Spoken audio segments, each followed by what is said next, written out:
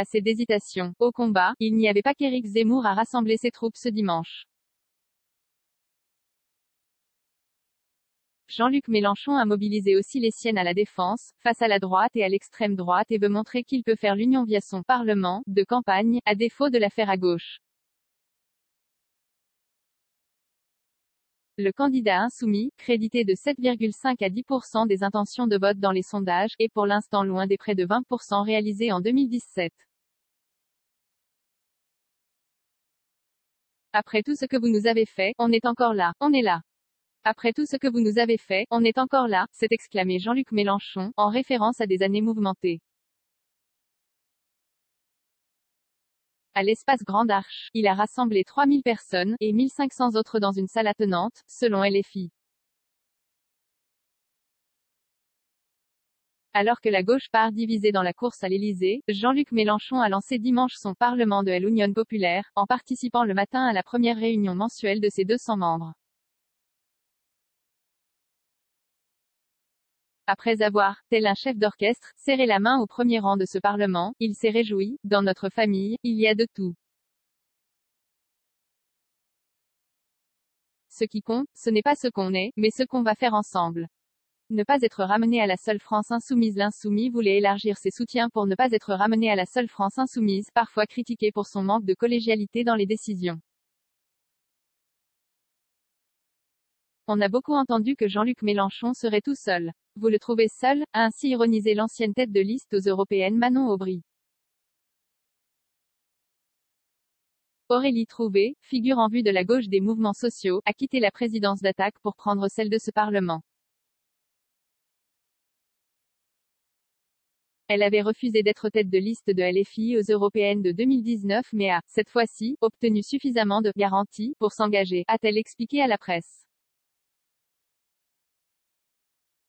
notamment un dialogue régulier avec le candidat, non seulement sur le programme, que le Parlement aidera à décliner en plan, chiffré, mais aussi sur la tactique et la stratégie, a indiqué cette enseignante chercheuse en économie de 42 ans. Parmi la moitié de non-insoumis, le Parlement compte par exemple Sylvie Glissant, l'épouse du poète Édouard Glissant, chantre de la créolisation, cher au candidat LFI, l'écrivaine Annie Ernaux, Xavier Mathieu, l'ex-délégué syndical de la CGT de l'usine continentale âgée de Clairoy, ainsi que quelques politiques, comme Thomas Porte, ex-porte-parole de Sandrine Rousseau lors de la primaire des Verts, ou encore le maire communiste de Stein, Seine-Saint-Denis, Azedine Taïbi. LFI était déjà un mouvement d'élargissement, mais ce n'était pas si facile de convaincre, a concédé à la presse Sarah Legrain, cheville ouvrière de la création du Parlement. Il a fallu convaincre que le Parlement allait être un espace de liberté.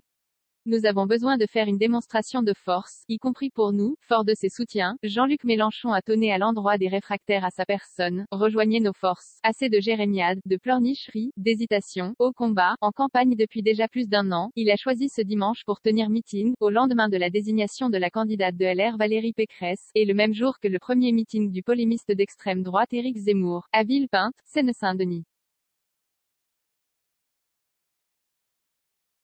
Ça renforce notre position, on est là, il n'y a pas que Zemmour, et il n'y a pas que la droite, estime auprès de l'AFP Manuel Bompard, directeur de campagne. Oui nous avons besoin de faire une démonstration de force, y compris pour nous, qui sommes parfois si éclatés, acclamé Jean-Luc Mélenchon. Et d'ajouter sous les acclamations, nous venons redonner du courage au pays, alors qu'il est plongé dans des débats absurdes sur des affaires de religion ou de couleur de peau. Non la France ce n'est pas l'extrême droite, la France c'est la sécurité sociale, la santé publique, l'école, la recherche, le partage.